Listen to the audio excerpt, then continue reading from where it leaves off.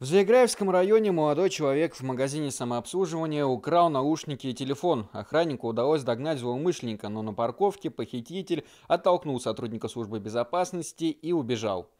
Приметы. Парень европейской внешности, рост 170-175 сантиметров, на вид 25-30 лет. Был одет в черную шапку, серую куртку, темно-синие джинсы. При наличии какой-либо информации сотрудники МВД просят сообщить полиции.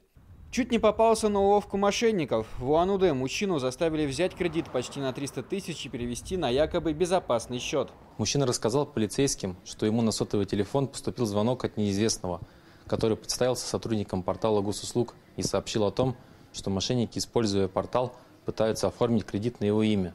И для того, чтобы не лишиться денег, ему необходимо срочно оформить кредит самостоятельно – перевести денежные средства на безопасный счет. Мужчина оформил займ в банке на сумму 290 тысяч рублей и по указке звонившего пришел в салон сотовой связи для того, чтобы перевести денежные средства на, абонентский номер. Сотрудник торговой точки заподозрил неладное и предупредил мужчину, что это, скорее всего, мошенники. И я начал спрашивать, задавать вопросы, кому принадлежит номер. Э, то, что он ответил, номер не ему принадлежит, ему сказали по номеру телефона.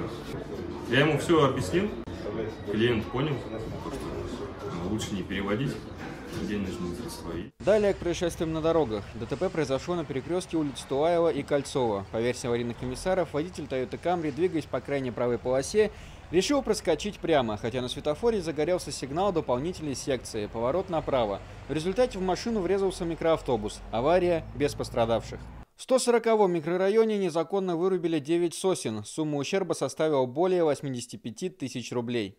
В настоящее время в производстве отдела дознания отдела полиции номер 2 Управления МВД России по городу Улан-Удэ находится уголовное дело, возбужденное по части 2 статьи 260 Уголовного кодекса Российской Федерации по факту незаконной рубки лесных насаждений объемом около 13 кубометров.